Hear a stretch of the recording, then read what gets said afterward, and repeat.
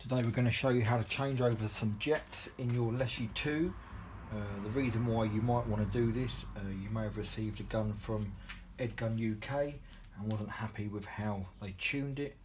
Um, a lot of people are asking how do you take it back to factory spec? Well this is one of the things that you can do by changing over the two milled drilled out jets that they do and replacing it with other jets or nozzles, whatever you want to call them, that you can purchase from Edgun Spain or Edgun West. So, first thing to do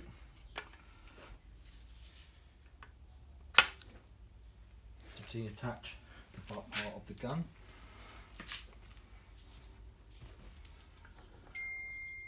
Then I'm going to degas it with a two and a half mil Allen key. Make sure you always get the Allen key in nice because if you uh, mess up the head on that, that'll be a nightmare then to get changed over.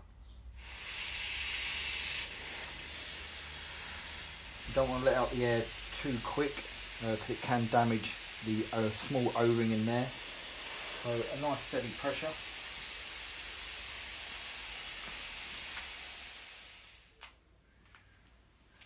Now once all the air is out, don't forget just to nip that back up for when you re-put the air in later. Now, next thing to do is just screw up this part.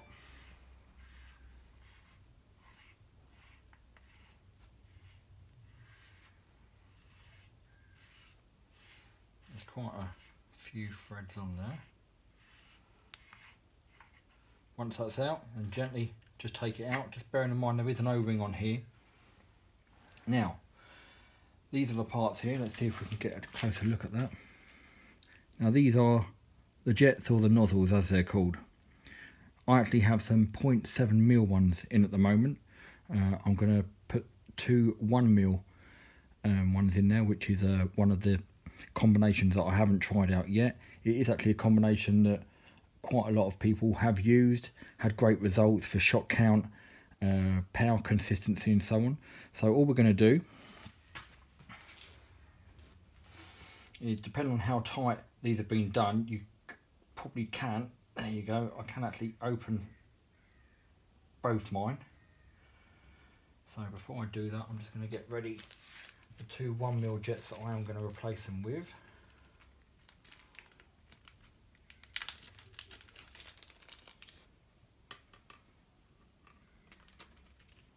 Now, behind these, there are actually two little springs. So the best thing to do is to hold it in the upright position.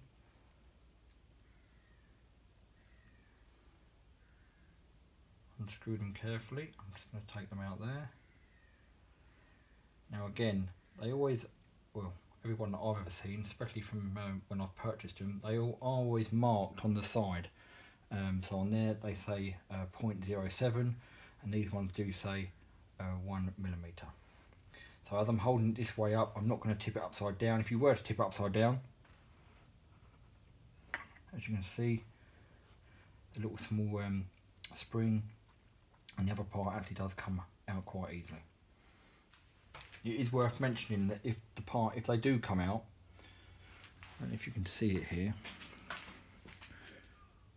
see if we can get that focused in. So if they do come out, you want the the metal end on the left, that goes in first, and the open spring, that's the bit that the jet actually rests against.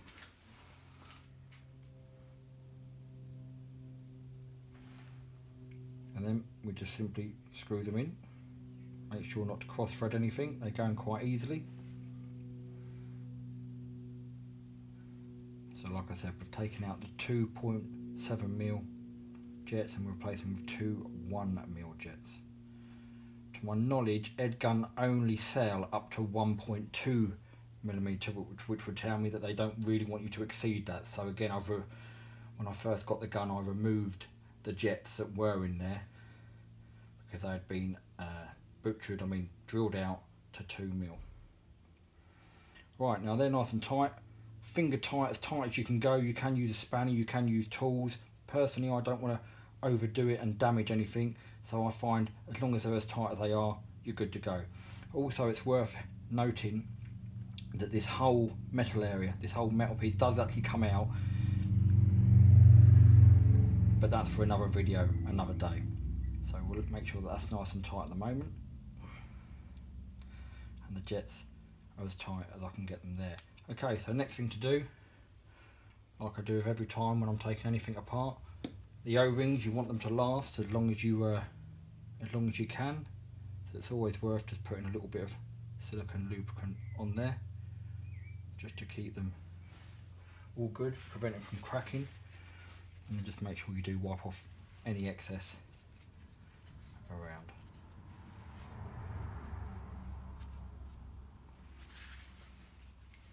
Right, so yeah, that's all tight. Each jet is tight. So we'll now get that back in. Again, when you're first going in, just allow for that little, that sorry, the larger O-ring. Just push it in gently. Once you feel it's getting in, in the correct position, then it will pick up on the thread. Again, make sure you're not cross-threading anything. That's going in nice and easily so we know we haven't done. And this will actually come to a stop once you're at the point where it doesn't want to go around anymore. There we go. So you can see it's stopped in that position and it is aligned and straight. Now, because I've adjusted, uh, removed and replaced the, the, the jets or the nozzles, whatever you want to call them, I am going to have to adjust the regulator. Now, the reason being, um, because I had the 0.7 mil jets in, um, because I've put in now a larger hole, the regulator will need adjusting. If I fire it now, it will probably um, be well under about 11 foot pound. It was at a constant about 11.6. So what I am going to do at this point is I'm just going to adjust the regulator, we'll then chrono it, see what the power is and see if it needs adjusting. So now it's for the regulator adjustment. So that's all still in, in place as it was. So now you actually want to screw this main part off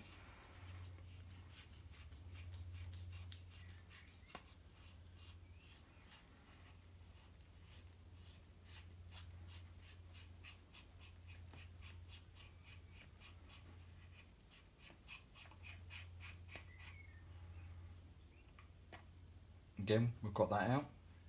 There's another o-ring in place. So this is the regulator adjustment.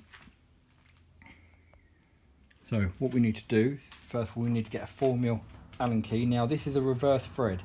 So whereas normally you know clockwise would do it up anti-clockwise would undo it. This is a reverse thread so it's the other way around. So what I do because this this thread can be damaged quite easily so what I do, we want to undo it, so we've got to go clockwise. Just make sure you get it in there. Once it starts to spin, what I do, just to make sure there's no accidents and nothing's going to get cross-threaded at all, what I do is I then, once I can get it, as soon as there's enough exposed, I then take it out with my fingers just to make sure that I'm not going to cross-thread and damage it. So this basically, this is a cap just to protect the uh, actual regulator adjustment from being adjusted um, and, and it's to protect it so it doesn't move. Again, some people that received their guns were missing this and was told it wasn't really needed. Absolute nonsense, of course it's needed. This is needed to lock everything in place. So, the next thing, we then uh, we need a 3 mil Allen key. Now, what you've got to remember with the regulator adjustment is uh, clockwise. If you turn it clockwise, that will decrease the power because, like I said, it's a reverse thread. So clockwise will decrease it, anti-clockwise will increase it. So on this uh, situation, we do want to just increase it a very, very slight bit. As long as it's chronoing, as long as it's within the legal power limit, I'm happy with that. Um, I'm guessing at the moment my reg pressure is at about between 65 and 70 bar. Uh, from various uh, from depth measurements and from other findings that I've found online. Um, so that's roughly where I am. But so what I want to do now, I'm going to increase it. So I need to go anti-clockwise. And all I'm going to do is I'm going to put the Allen key in here. And I'm going to just go anti-clockwise a quarter of a turn. So that has now increased the power. I'm then going to put the locking cap back on. Again, because I'm doing it up, it's a reverse thread. I've got to do it anti-clockwise. And then once that goes in any further where I can't get it I then just go in with an Allen key again. This is more to protect the, uh, the thread that can get damaged. Now you don't go crazy tight. It's just literally just nip it up and we're good to go. Right so we'll now put some more put some more silicone lubricant on this just to keep that o-ring good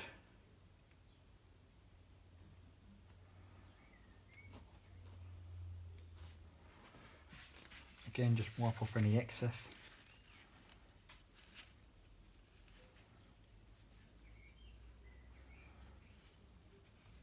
Whenever I'm doing this as well, I just I do always have a quick look at the O-ring just to check there's no cracks or anything in there. That all looks good. Right, so we then just put this in again, the same with before. We just let that O-ring get in there. Once you know it's gone in without too much pressure forcing anything, we then just make sure that the the thread is lined up. And then that should go in nicely. Again you can't really over tighten it. It will stop once it gets to its end position which is there. I'll just give mine a quick wipe because all that silicone stuff gets everywhere. So that's all done. So we know we've already tightened up the the bleed screw. I'm now just going to get some air in this and then we'll get it on the gun and we'll chrono it to see where we are. So I've put some air back in it. Uh, I've only got a seven litre bottle here, so I've uh, filled it up to um, about 200 and I don't know about two, between 230 and 240 bar. Don't know if you can see that if it's focusing or not. So we'll now reattach that to the gun.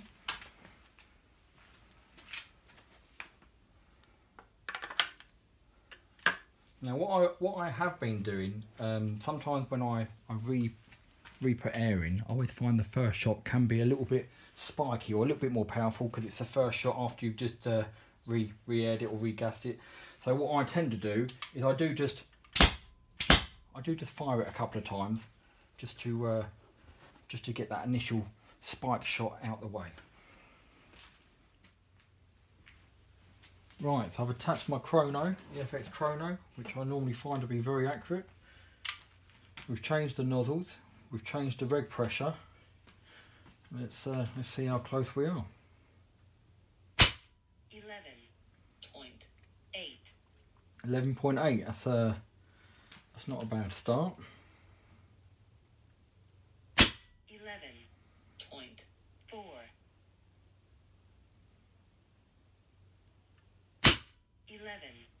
point. Three.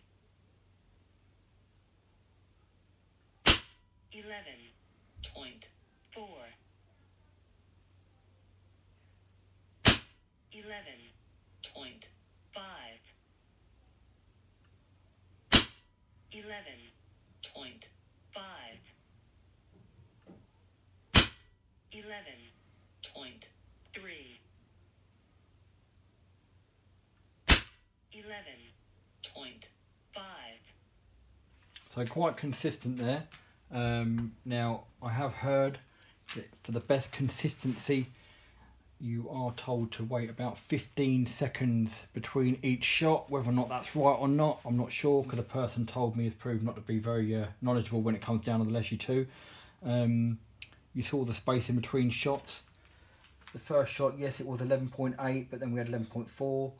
11.3, 11.4, 11.5, 11.5, 11.3, 11.5. So the power consistency isn't bad. Um, I am going to leave it at that. Um, we are using the Hades um, 15.89 grain pellets, so it's not the lightest of pellets, it's not the heaviest, but it's a, it's a good medium ground to, to work off. Um, so that is it, that's the end of uh, the video. Thanks for watching, please subscribe, and uh, we'll see you soon.